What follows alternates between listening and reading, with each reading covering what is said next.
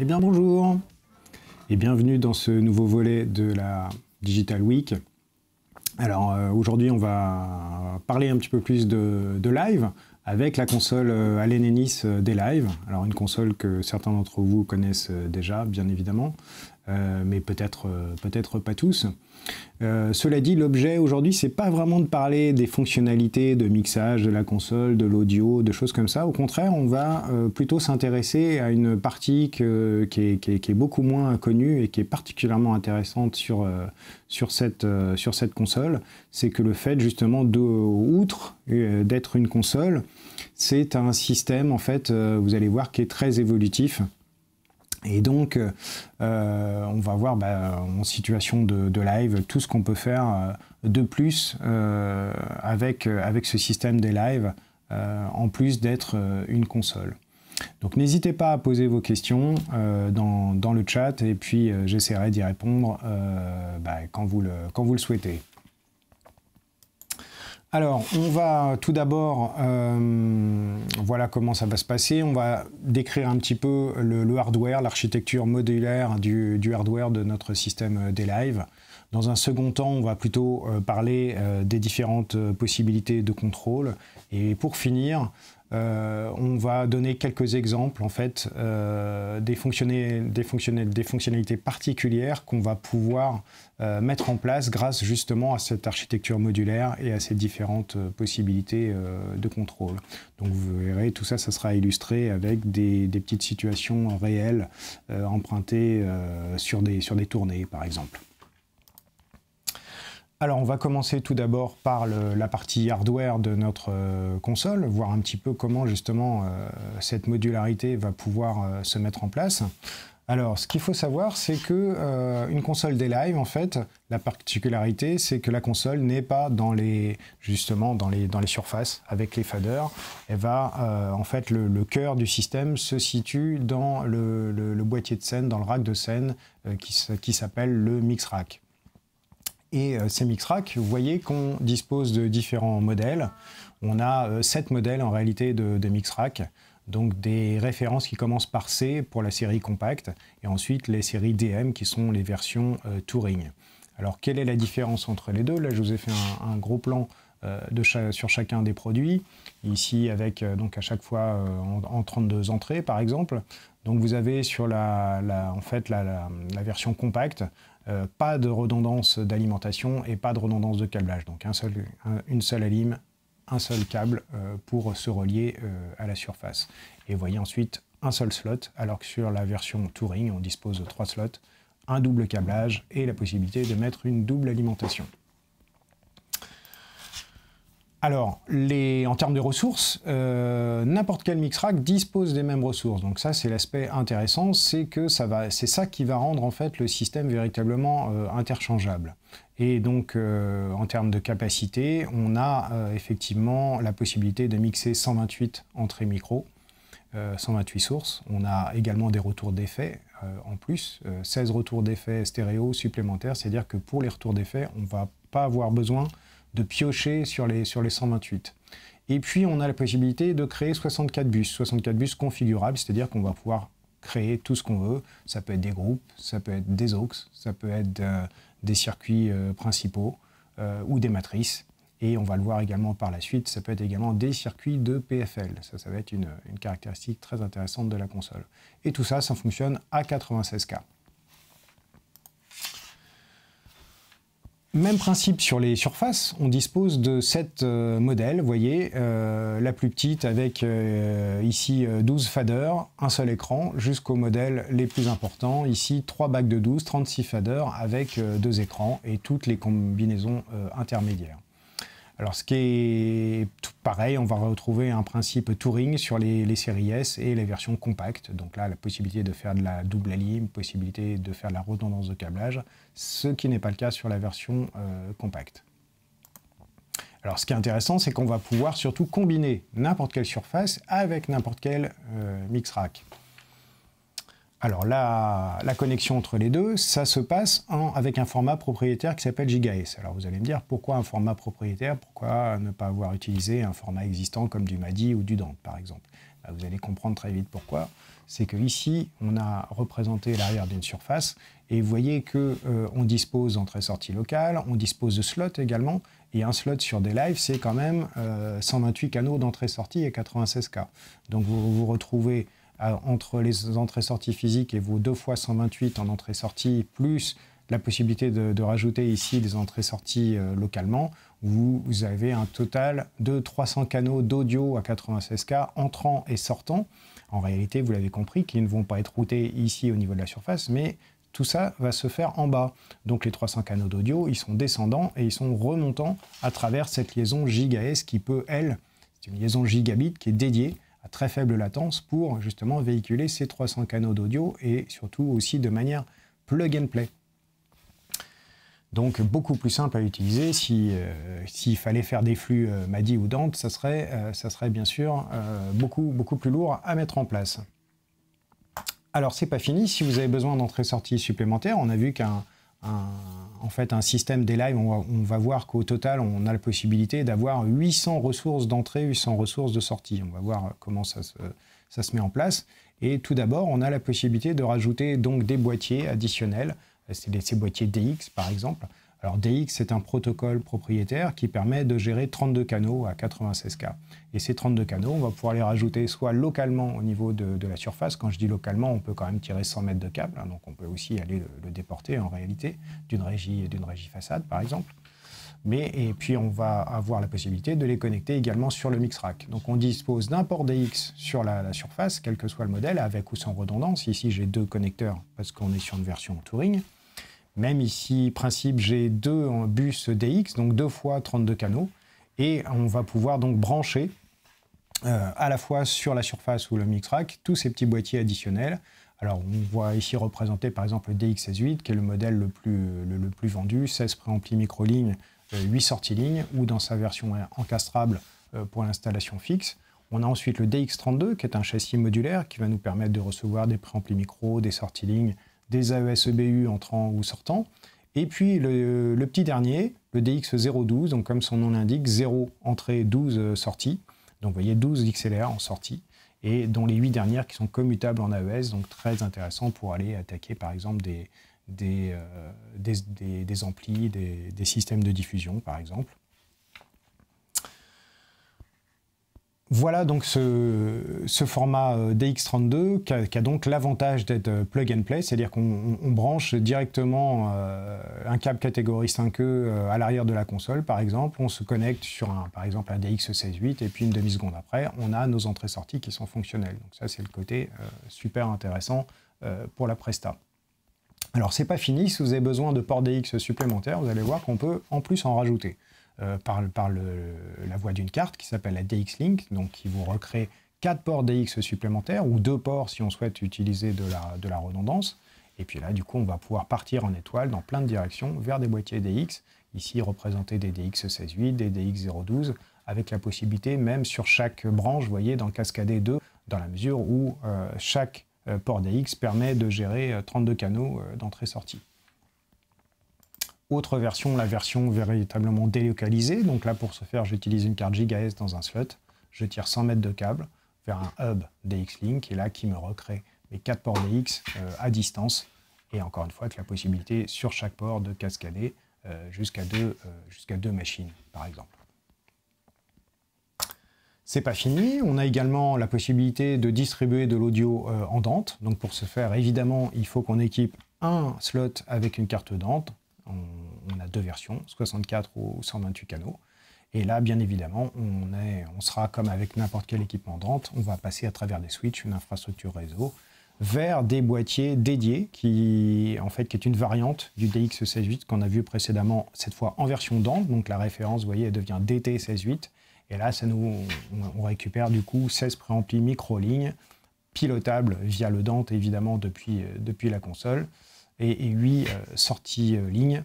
Et sachant que ce boîtier d'été, on peut le faire fonctionner, comme la carte d'ailleurs à l'intérieur de la console, à 96 ou à 48 pour être compatible avec, euh, avec le reste du monde. c'est pas fini. On va également avoir bientôt des petits boîtiers en version de, de petite taille. donc, donc ça, très intéressant dès qu'on aura la, dès qu'on aura le besoin d'injecter euh, un micro par-ci, de récupérer de la modulation euh, en mono, en stéréo par là, ou euh, une combinaison des deux, deux entrées, deux sorties, donc comme, son nom l'indique, à chaque fois deux entrées, zéro sortie, zéro entrée, deux sorties, ou deux entrées, deux sorties. Tout ça qu'on va pouvoir monter en rack, on va pouvoir monter en surface et donc au format Dante pour euh, bah donc euh, délocaliser notre audio partout où il y en a besoin. Là, vous voyez, dans des, formats euh, tout petits. Alors, la question qu'on peut se poser, c'est pour, pourquoi avoir ces deux, toutes ces solutions? Bah, C'est parce que ça répond à des besoins en réalité différents, avec des avantages et des inconvénients différents. si on s'intéresse par exemple à la version Dante, donc nos boîtiers d'été, le gros avantage du Dante, c'est que ben, on peut utiliser une infrastructure réseau existante, une infrastructure de switch, pour euh, distribuer en fait euh, notre audio, euh, pour piloter effectivement à distance nos préamplis micro, etc. Donc ça, évidemment, c'est le gros point fort du Dante. Son point un petit peu plus faible, c'est qu'il est un petit peu plus lourd en termes de configuration. Quand on veut faire un one-shot, une prestation où il faut aller très vite, bon, il faut quand même configurer des adresses IP, ou en tout cas se poser, vérifier qu'on est quand même correctement configuré à ce niveau-là. Euh, ouvrir un ordi, euh, patcher euh, ce qu'il faut sur, sur l'application Dante Controller, etc. Ça prend un petit peu de temps. À l'inverse, le DX, lui, on est sur une technologie point à point, donc ça, ça, pourrait être aussi son point faible, c'est-à-dire qu'on ne peut pas passer à travers des switches. Mais par contre, le point à point fait qu'on est plug and play. On n'a pas besoin du coup de s'occuper des adresses IP, on n'a pas besoin de configurer avec un ordinateur.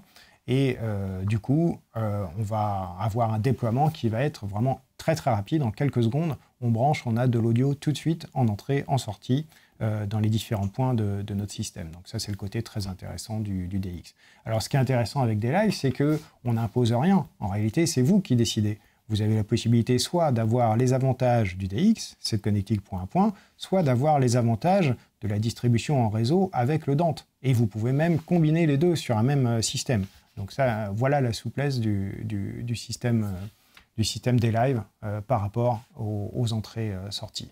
Euh, Alors, pour finir, on va également parler de, pour finir sur la partie hardware, on va parler des, différents formats de cartes. Donc, on a déjà abordé la notion de gigahertz, donc les gigahertz supplémentaires, en version cuivre, en version fibre.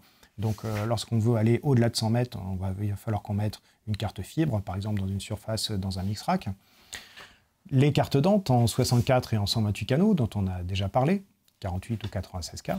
D'autres formats, tels que le Waves Soundgrid, si on a par exemple un serveur d'effet Waves, ça nous permet de faire 128 inserts euh, à 96K euh, dans la D-Live avec une, latence extrêmement courte. Je crois qu'on est de mémoire, on est à 5 ou 7 échantillons, donc quelque chose qui est assez, assez ridicule, qui permet même de faire des, inserts euh, de tranches, de, des de compression, de choses comme ça.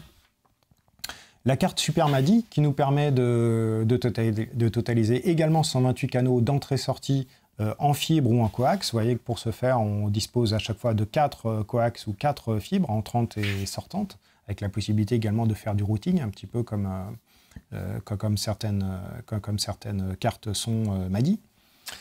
Et puis des petites sorties également AES-EBU lorsqu'on a besoin juste de quelques-unes. On n'a pas besoin de, sortir un, rack supplémentaire lorsqu'on, comme on a vu précédemment, on peut se, contenter d'une carte comme ceci. Voilà, vous voyez, pour les différentes, euh, les différentes possibilités hardware, donc une, grande souplesse euh, pour s'adapter à, différentes euh, situations. On va maintenant effectivement s'intéresser à la partie contrôle, comme je vous disais les différentes manières de contrôler notre système des lives. Vous allez voir qu'on a euh, énormément de possibilités à ce, niveau-là. Alors tout d'abord, on va commencer par euh, la version iPad. Ça s'appelle l'appli s'appelle Mixpad, donc sur iOS. Donc c'est une appli de mixage pour, euh, pour, l'ingé qui va pouvoir accéder à tout le, tout le processing de la console, à tous les envois, etc. sur les, sur les bus. Alors un petit exemple d'application. On est ici, par exemple, dans le, dans le grand auditorium de, Radio France. Et on voit que, alors vous voyez l'orchestre le, en bas et puis ces différents balcons à différents niveaux. Euh, et donc là, l'idée, c'est que, bien évidemment, pour, euh, sonoriser un lieu comme ça, on dispose bah, d'une multitude de, systèmes de, diffusion. Vous voyez les différents clusters à différentes hauteurs, etc., dans différentes directions.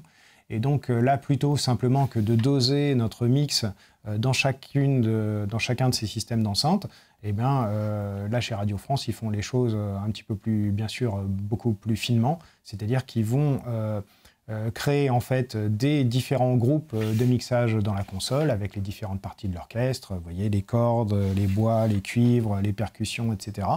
Et puis euh, chacun de ces, de ces, de ces groupes, en fait, de ces sous-groupes, va être prémixé, va être mixé, en fait, va être dosé séparément vers les différentes voyez, zones de diffusion qui correspondent à des, aux différents systèmes de, de, diffusion, différentes, aux différentes enceintes donc pour, euh, pour, chacun des balcons à différentes hauteurs, etc.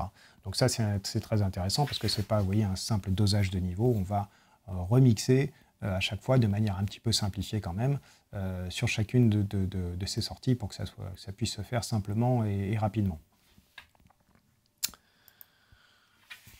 Outre euh, application euh, pour les tablettes, OneMix, cette fois la version euh, musicien de l'application précédente. Donc là, le, musicien va pouvoir effectivement faire son mix avec, l'iPad, donc d'agir sur, ces différentes tirettes de son mix à lui uniquement, évidemment.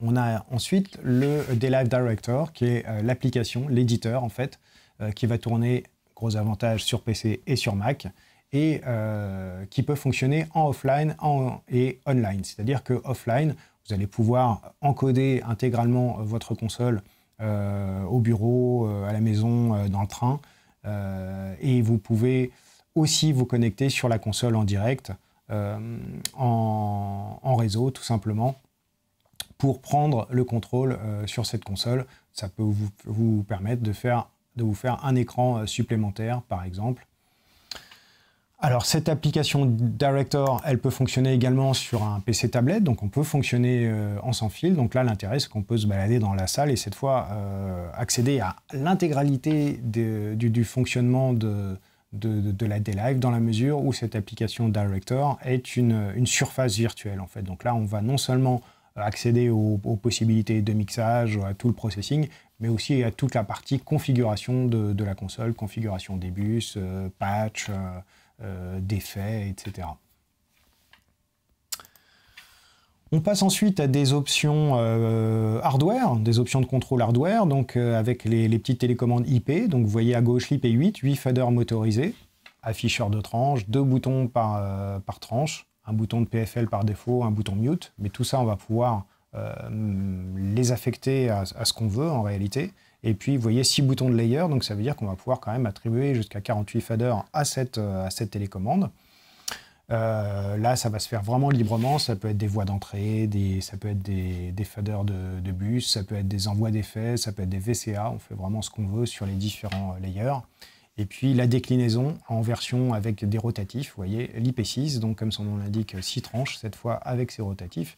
Donc elle, elle est plutôt intéressante pour euh, euh, faire des systèmes de monitoring personnel pour les musiciens.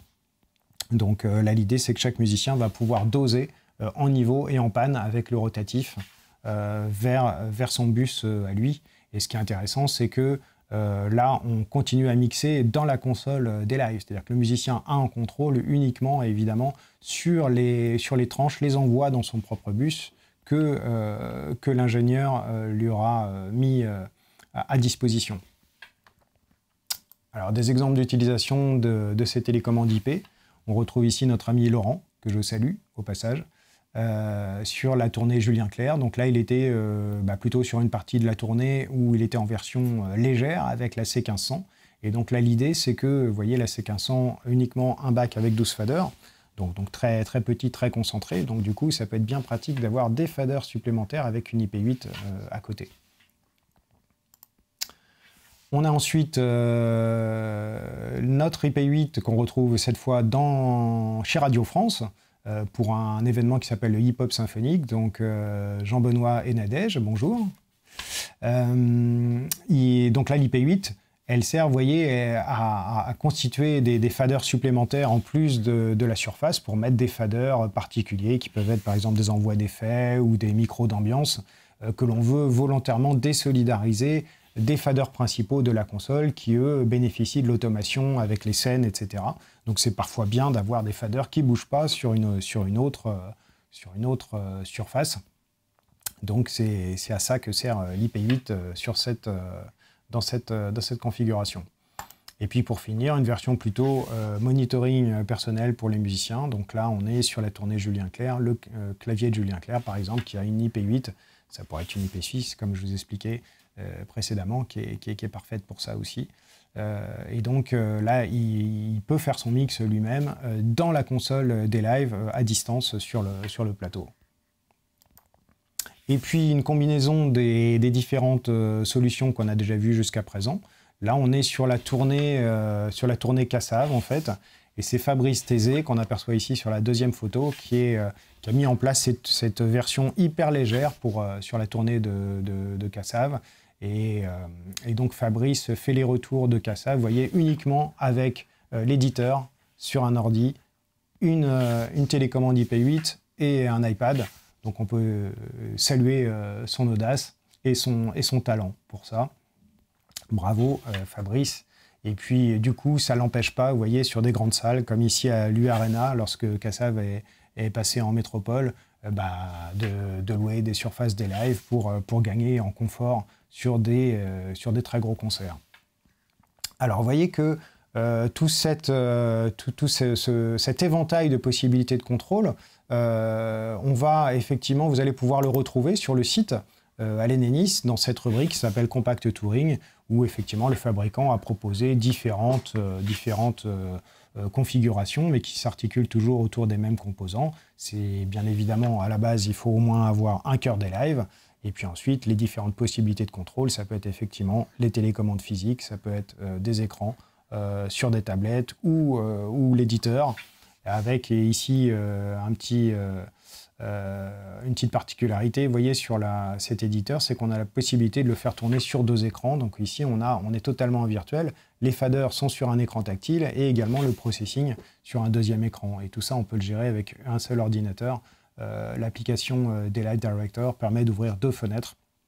Donc, donc particulièrement intéressant pour faire ce genre de choses.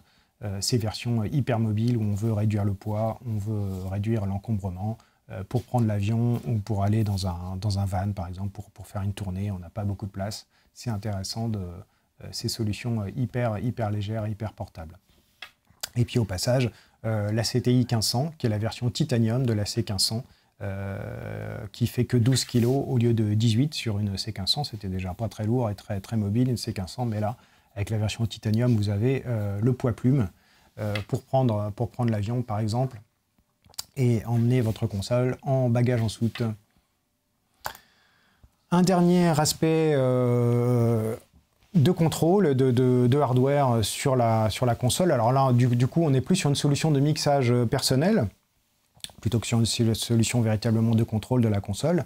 Là, l'idée, c'est qu'on va utiliser en fait une connectique spécifique qui s'appelle Mi, en fait, sur le, sur le mix rack, qui va nous permettre d'aller attaquer directement des mixettes en, en daisy chain, ou soit on peut passer également par un hub qui a l'avantage en fait d'alimenter en PoE euh, chacune des mixettes. Donc on n'a plus besoin de blocs d'alim pour chacune de ces mixettes Mi 1 ou Mi 500. Donc là l'idée c'est que euh, l'ingénieur du son a accès à un patch spécifique euh, qui s'appelle Mi, dans lequel il peut envoyer 40 audios, ça peut être des audios mono ou stéréo, donc typiquement ça va être des direct out, des sous-groupes, euh, ou, des retours d'effets, par exemple, pour, euh, pour, pour, les musiciens. Et puis ensuite, l'ingénieur du son, il va attribuer euh, sur les 16 boutons dont chaque musicien dispose, eh bien, un prémix des 40 sources, ou ça peut être une source unique, bien, bien évidemment. donc, par exemple, sur le, batteur, il aura accès à ces différents micros de batterie, alors que, par exemple, un chanteur, il aura un bouton unique pour un prémix de batterie déjà constitué qui pourra juste doser, mettre plus fort, moins fort, par exemple. Donc, euh, ces mixeurs Mi, bah, voilà des petites, euh, photos d'application, à nouveau chez, Radio France, où parfois ils sont utilisés euh, pour des sections d'orchestre qui, peuvent effectivement remachiner, rebidouiller leur mix chacun à façon, à volonté. On retrouve également souvent ces boîtiers Mi sur des comédies musicales. C'est le cas ici de cette comédie musicale qui s'appelle Les Producteurs, qui, qui joue en ce moment au théâtre de Paris. Et puis, euh, on retrouve également ces Mix Me, par exemple, ça, pourrait être sur des plateaux télé. Ici, on est sur un plateau radio, on est, euh, euh, chez FIP, en fait, sur le plateau direct de FIP, et tous les concerts live en direct que vous pouvez écouter sur FIP, eh bien, c'est mixé sur une SQ5 avec, avec des, petits boîtiers Mi pour le, monitoring musicien. C'est pas terminé, on dispose également d'une là, une particularité véritablement sur le système des lives, la possibilité de fabriquer des interfaces euh, utilisateurs spécifiques pour les écrans. Les, les, pardon, les écrans, ça peut être des PC, ça peut être des Mac, donc des ordis, ça peut être euh, des tablettes ou des smartphones. Donc là, l'idée, c'est qu'on a une application sur Mac et sur PC qui nous permet de concevoir des interfaces utilisateurs sur mesure. Donc là, c'est très simple à utiliser, c'est un glisser-déposer de fader, de boutons, euh, pour pour faire en fait des interfaces sur mesure, à la base, c'est pensé plutôt pour l'installation, pour donner accès euh, au contrôle de la console pour des gens qui ne seraient pas techniciens. Mais vous allez voir qu'en live, il y a quand même des, applications. Donc, comme je vous disais, ça tourne sur des tablettes, sur des smartphones, iOS, Android, Windows, euh, Mac. Alors, un exemple d'application justement en live. Ici, on est sur le défilé du, du 14 juillet. Alors, là, l'idée, c'est qu'on a euh, plus d'une centaine de liaisons HF et qu'il faut monitorer en termes d'entrée, aller faire, du, PFL sur toutes, ces, sur toutes ces sources. Alors on peut bien sûr utiliser une surface des live pour faire ça. Donc là, vous voyez, on a pris un DM0, une carte Dante. On aurait pu utiliser une surface des live, sauf qu'il aurait fallu, pour se balader à travers euh, jusqu'à 128 canaux de, HF, euh, bah, changer de layer en permanence pour aller faire un PFL sur la bonne, sur la bonne voie d'entrée. Donc l'alternative, c'est qu'on a ici, vous voyez, designé avec l'application Custom Control une forêt de boutons PFL sur mesure. Et puis du coup, avec un écran tactile, on va du coup pouvoir monitorer nos HF extrêmement euh, facilement sur une interface euh, complètement, euh, complètement intuitive. On, rajoute ce qu'on veut, des petits barres graphes d'entrée, un, niveau de, un niveau de contrôle de sortie, etc. Donc voilà des exemples des exemples d'application de, de, ces, de ces possibilités. Alors du coup, maintenant, on va, euh, dans, ce, dans, ce troisième, dans cette troisième partie, regarder euh, plutôt des, des, fonctionnalités particulières et les applications que ça va pouvoir nous apporter liées à cette, euh, à cette architecture modulaire qu'on a vue précédemment et ces différentes possibilités de, contrôle. Alors, vous vous souvenez, on a la possibilité d'utiliser en fait n'importe quelle surface avec n'importe quel mix rack. Pourquoi? Parce qu'on a le même cœur audio en fait dans tous les, dans tous les mix racks. Donc ça signifie également qu'on dispose du même logiciel à la fois dans les surfaces et à la fois dans les mix racks. Donc ça c'est très intéressant parce que ça va nous permettre euh, justement euh, d'être totalement souple dans le choix des, composants. En effet, si on dispose du même logiciel partout, ça veut dire qu'on peut générer le même format de fichier quand on sauvegarde notre configuration de, mixage, qui s'appelle le show file. C'est un petit peu le dénominateur commun de, tous nos systèmes euh, des lives. Et donc ce show file, il est très intéressant parce que tout d'abord, il permet de, bien sûr, enregistrer les données de mixage de chacune des consoles, mais au-delà de ça, il va vous permettre également de mémoriser tout, euh, en plus des données audio, toutes les données de l'environnement de, travail, en fait. Tout ce qui va être assignation sur les boutons, sur les écrans, etc., c'est sauvegardé dans ce show file. Et donc, c'est sauvegardé dans la clé USB. Et donc, si vous changez de console, vous, êtes accueilli sur une des lives euh, ailleurs, bah, vous allez retrouver l'intégralité, vous, de, votre, de votre euh, habitude de travail, bien sûr vos mix, mais aussi votre environnement de travail. C'est ça qui est vraiment euh, intéressant. Alors, au passage, du coup, ça nous permet de voir notre système évoluer au cours d'une tournée, par exemple, de changer de configuration pendant la tournée. Donc ici, voilà un exemple, on va, retrouver notre ami, euh, notre ami Laurent Midas sur la tournée Julien Clerc. Et puis, donc Laurent a utilisé différentes euh, tailles de, systèmes au cours de la tournée pour s'adapter, bien sûr, aux différents euh, formats de salles. Et donc, il a démarré sur une S7000 pour faire la, tournée des, la tournée des grandes salles en France, en métropole. Et puis ensuite, il a fait la suite de la tournée, c'était Outre-mer. Donc là, il fallait prendre l'avion. Et donc, il fallait que ça tienne en bagage en soute. Donc, la toute petite, la C1500, avec un bac de fader supplémentaire IP8. Pour donner un petit peu plus de souplesse. Et puis, ensuite, encore suite de la tournée au Canada, où là, il a pu louer une, une S5000, par exemple. Donc, vous voyez, trois tailles de surface pour le, même, le même show, en réalité, avec la possibilité toujours de conserver nos données de mixage, de les rendre compatibles. Alors, évidemment, euh, pour ce faire, il suffit, une fois que le show file est sauvegardé sur la clé, vous pouvez directement l'ouvrir sur un autre format de console. Vous avez besoin, bien évidemment, de réaffecter vos faders. Vous pouvez le faire sur la console de destination ou vous pouvez faire ce travail via la moulinette euh, de l'éditeur euh, entre, entre, temps pour directement conformer directement votre projet au format de fader de la, de la console cible. Donc, très facile à faire et ça, ça apporte vraiment une souplesse énorme euh, pour, les, pour les tournées.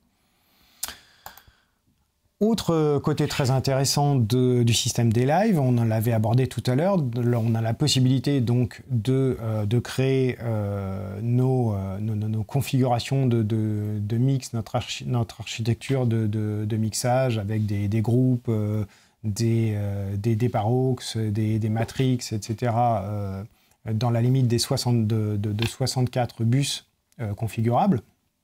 Et dans ces bus configurables, on peut également créer des circuits de PFL supplémentaires. Donc ça, on va voir que c'est très intéressant parce que, euh, outre le fait d'avoir bien évidemment un PFL sur, sur notre euh, première console, eh bien, on va pouvoir fabriquer par exemple un second PFL au niveau du Mixrack, mais le Mixrack dispose de, sa propre circuit, de son propre circuit casque. Donc par exemple, un technicien plateau va pouvoir, avec un ordinateur, euh, il va être capable de faire un line check directement sur, la, sur sa sortie casque locale, par exemple. Donc ça, c'est très intéressant. Euh, si la console n'est pas, est pas encore en place, par exemple, au niveau de la régie euh, façade. On a la possibilité également de faire un autre circuit de PFL sur une tablette. Donc, par exemple, un backliner, il va pouvoir, lui, directement monitorer ses sources de manière totalement autonome. Et puis, on a la possibilité également de créer un autre circuit de PFL, par exemple, sur nos, télécommandes IP. Alors ça, c'est très intéressant, euh, parce que chaque bouton PFL, en fait, de l'IP8, par exemple, on peut euh, lui dire, de, on peut l'assigner, en fait, à un circuit de PFL en destination. Donc ça, ça va permettre euh, de répondre à des besoins spécifiques d'ingénieurs retour qui auraient des exigences un petit peu pointues au niveau du monitoring, qui souhaiteraient, par exemple, avoir un monitoring wedge et un monitoring euh, in-ear, euh, donc bien sûr, bien sûr séparés.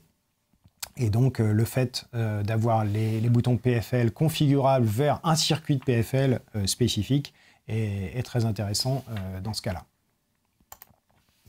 Autre fonctionnalité particulière, le, le, patch Tilelines de la console. Donc vous voyez, dans le patch de la console, on a notre patch de sortie, notre patch d'entrée, et puis un troisième patch qui s'appelle Tilelines. À quoi ça sert le Tilelines bah, Ça va nous permettre en fait de router n'importe quelle euh, source qui rentre dans notre système des lives vers n'importe quelle sortie. Or, un système des lives, si on refait le tour un petit peu de la configuration globale, vous voyez que c'est notre cœur audio ici, avec ses expandeurs, avec ses slots. C'est une surface avec ses slots, avec ses expandeurs. Et si on totalise en fait euh, toutes ces entrées-sorties physiques, on arrive à 800 euh, sources entrantes, 800 sources sortantes. Et ce, cette fonction Tilelines, en fait, va nous permettre de faire du routing euh, depuis ces 800 euh, ressources audio vers les 800 sorties, sans utiliser les ressources de la console. C'est vraiment ça qui est intéressant. Donc on n'a pas besoin d'aller router ça vers des voies d'entrée de, la console, de faire des direct out. Pas du tout. Le Tilelines vous permet directement de réaffecter euh, par exemple des préamplis micro vers un slot euh, qui peut être en Dante, qui peut être en MADI pour, euh, par exemple, alimenter un car régie pour du broadcast, par exemple, ou, du streaming. et puis ça permet aussi, bah, donc en situation de live, voilà un exemple, c'était la première tournée, la tournée Trust, donc je salue Madge au, passage, un des premiers qui a, utilisé cette fonction Tilelines pour, par exemple, router le flux des micros de la D-Live vers une, deuxième console. Donc la D-Live, vous voyez, était utilisée en façade. Et il y avait une autre console qui recevait en Dante euh, bah, tout le flux de, micros généré par, euh, par la D-Live. Alors tout ceci n'est possible grâce au fait que tous nos slots, euh, toutes nos cartes optionnelles numériques sont équipées de SRC, donc la possibilité de, euh, d'entrer-sortir à 48K, même si la D-Live reste à 96, et tout ça se fait sans souci grâce au SRC.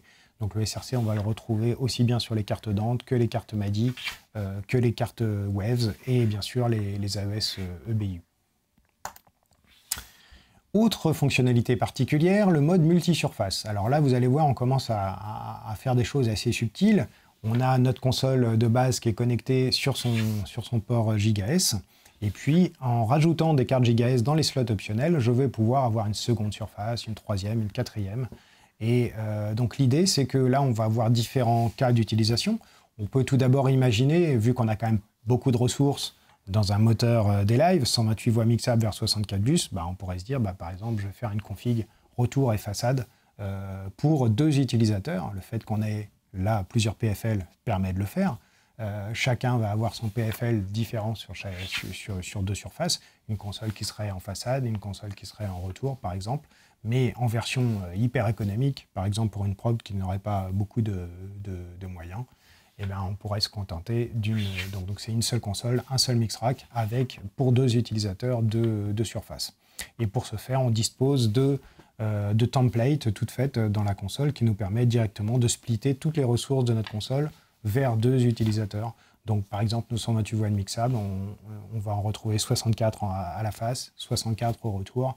Pareil euh, pour les bus. Euh, tous les départs aux vont se retrouver bien sûr sur la console de monitor. Tout ce qui est euh, bus euh, principaux, euh, sous-groupes, etc. peut se retrouver sur la console de face. les VCA, on va les splitter en deux. Les effets, on va les splitter en deux, etc. Donc ça, ça permet de faire des configs, bien sûr, hyper économiques pour, pour, pour détourner à, budget, à budget limité. Donc deux, deux, exemples de tournées qui ont utilisé ce système-là. Les premiers qui, qui, ont, qui, ont, utilisé cette possibilité-là, c'est la tournée Damso. Euh, on voit ici l'ingé son, façade, l'ingé euh, retour. Et puis plus, récemment, par exemple, une, tournée en ce moment, la rue nous, par exemple, qui utilise euh, une C1500 en façade et une C2005 en retour, par exemple. Même, même chose en utilisant un unique rack des live. Autre application de ce multi-surface, par exemple, on retrouve là notre ami Laurent Midas sur les, retours de Christophe Mahé. Et puis là, vous voyez, sur cette tournée-là, il utilisait une combinaison de, deux surfaces euh, sur sa régie retour, une C3005, une C1500, en fait, avec euh, des fonctionnalités réparties euh, sur les deux consoles. Ça permet aussi de faire ça, par exemple, de faire des prémix d'un côté, un mix complet de l'autre, ou d'avoir aussi une console en mirroring à un autre endroit du plateau, à un autre endroit de la salle. Et puis pour terminer, une dernière euh, fonctionnalité particulière, la fonction Gain Sharing, dont on dispose depuis la version 1.9, qui est un petit peu la solution de distribution euh, micro euh, idéale en numérique entre, entre, deux, entre deux consoles. Alors comment ça se passe? Eh bien il suffit, donc vous voyez, on a ici à droite la console de monitor avec les entrées micro au plateau, et puis on a une seconde console, la, console façade, qui peut se trouver dans le même rack euh, sur le plateau. Donc là, l'idée, c'est qu'on a juste besoin d'une carte GigaS pour faire le pont entre les deux euh, cœurs audio. Et l'idée, c'est qu'on va en fait euh, véritablement mutualiser les préamplis micro de notre, de notre rack monitor avec la façade. Ça veut dire que la, console façade, elle va pouvoir contrôler ses préamplis micro ou pas. On va pouvoir choisir quel utilisateur, ou soit un, soit les deux, vont pouvoir contrôler les préamplis micro. Et puis on va pouvoir, le, donc, du coup, sur l'une ou sur les deux consoles, être en, euh, enclenché, on va pouvoir enclencher la fonction gain tracking qui va permettre à celui qui ne bouge pas le gain de, ne pas voir celui-ci bouger en fait dans, dans, sa tranche. Euh, donc son niveau de travail dans la tranche il va rester identique, donc les seuils vont pas bouger par rapport au gate, par rapport au compresseur, etc. Et donc euh, la, combinaison de cette fonction gain sharing qui permet de contrôler à distance les préamplis micro plus la fonction gain tracking qui permet de le compenser euh, le cas échéant en cas de mouvement euh, qui ne serait pas effectué directement par nous mais par l'autre utilisateur, de voir ce niveau de travail toujours compensé dans la tranche et donc qui ne, donc on ne sera pas affecté par ce, par ce changement de, gain. Donc voilà, c'est un split micro numérique très, très facile à mettre en œuvre qui, qui permet d'éviter évidemment des, des, splits micro analogiques. Donc voilà un, voyez, un éventail euh, d'applications euh, particulières euh, que l'on peut mettre en place avec le système des lives. Donc vous voyez, on a un système qui est vraiment très très souple, qui peut répondre à beaucoup de problématiques en live et qui permet aussi de vous adapter à toutes sortes de projets, d'être plutôt en version légère, d'être plutôt en version confort avec plus de fader, selon le format de la tournée. Et puis ce qui est intéressant, surtout, vous, l'avez compris, que cette souplesse, on va pouvoir la conserver en cours de tournée et de changer euh, de format euh, au fil du temps euh, avec, avec les contraintes qui pourraient se, présenter. Alors, maintenant, je vais répondre à vos, à vos questions. N'hésitez pas. Y a-t-il des questions, nos amis? Alors, je vois une question s'afficher. Combien de périphériques de contrôle peut-on utiliser simultanément sur une, euh, sur une day live bah, très, bonne, très bonne question, parce que vous avez vu que bah, donc on, peut, on a une, une foultitude de, de, possibilités euh, de, contrôle entre les écrans, les ordinateurs, les, les, télécommandes physiques qu'on peut rajouter sur notre système euh. Eh bien, en réalité, le système des live, vous l'avez compris, il a été vraiment pensé multi-utilisateur et on a la possibilité d'avoir 40 connexions TCP/IP simultanées de contrôle sur un cœur des lives. Donc ça, c'est vraiment euh, conséquent. Vous voyez qu'on n'est pas simplement sur une console de mixage, ça a été vraiment pensé système multi-utilisateur. Donc 40 euh, euh, contrôles différents, ça peut être effectivement les ordis, les tablettes, les télécommandes physiques, des surfaces supplémentaires. Chaque, chaque fois qu'on va rajouter euh, par exemple, une surface avec deux écrans, ça va nous, utiliser deux liaisons TCP/IP pour chacun des écrans. Mais vous voyez qu'on en dispose de 40, donc on a une grosse réserve qui nous permet véritablement de travailler à plusieurs, avec plusieurs, euh, avec plusieurs surfaces, avec plusieurs solutions de contrôle, tout ça simultanément. C'est aussi un des gros points forts de la console des lives, en plus de toutes ces qualités audio, euh, qui est vraiment maintenant totalement reconnue sur les tournées et sur les, sur les installs. Voilà, merci. Pas d'autres questions. N'hésitez pas à nous joindre, nous envoyer un petit mail si, euh, si d'aventure ça vous arrive. Ah si, encore une autre question. Florian euh, Les liaisons ME peuvent-elles passer via un switch réseau PoE ou faut-il absolument le switch dédié? Alors euh, non, on peut fonctionner avec un switch, un switch lambda en fait. Euh, sauf qu'il faut le configurer en mode layer, layer 2 en fait. Donc il y a un petit peu de, il faut que le, il faut que le, le, comment dire, le, hub soit, soit, soit configurable, le switch soit, soit configurable. Donc c'est pour ça que euh, propose euh, son, un modèle déjà préconfiguré euh, fonctionnel qui s'appelle le MIU. Mais, mais dans l'absolu, on peut utiliser un autre, un autre switch PoE du commerce. Pas d'autres questions euh, pour le moment. Merci. Merci beaucoup de nous avoir suivis euh, ce matin. Et puis n'hésitez pas à me joindre, n'hésitez pas à nous joindre. On est là euh, pour, aussi pour vous accueillir à Paris dans nos locaux. On dispose des consoles. Vous pouvez jouer avec, vous pouvez vous former avec. Je peux vous former sur les, sur les consoles. chez nous ou chez vous également. Je, je, me fais un plaisir de, également d'aller vous voir. Et donc, merci de nous avoir suivis. À très bientôt.